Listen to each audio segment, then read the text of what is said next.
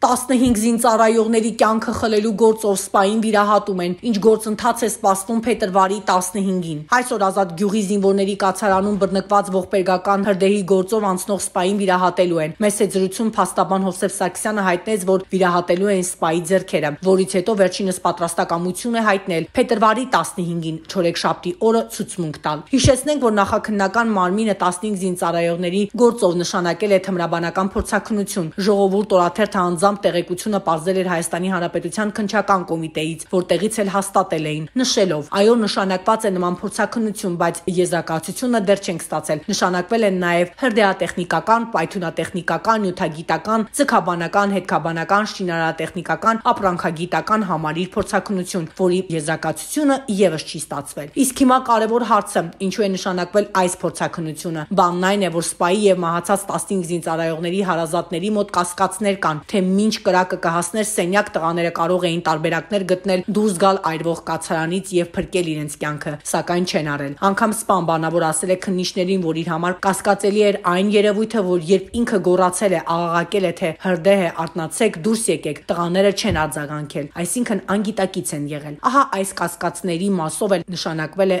վերոնշյալ փորձակնությունը։ Նշենք, որ սպան բանավոր պատմել էր, որ կրակը թեժացնելու համար է բենզինը լցրել։ Իրեն մեղավոր է համարում եւ կարող են իրեն դատապարտել այդ արարքի համար։ Երկրորդ անգամ հրաժարվել էր ցուցմունք տալ, անգամ պաշտպանի ներկայությամբ է նա հրաժարվել։ Մինչ օրս սպան գրավոր ցուցմունք չի տվել։ Եվ ահա չորեքշաբթի օրը ըստ էության ենթադրվում է, որ հարցակնությունը տեղի կունենա։ Կհետևենք զարգացումներին։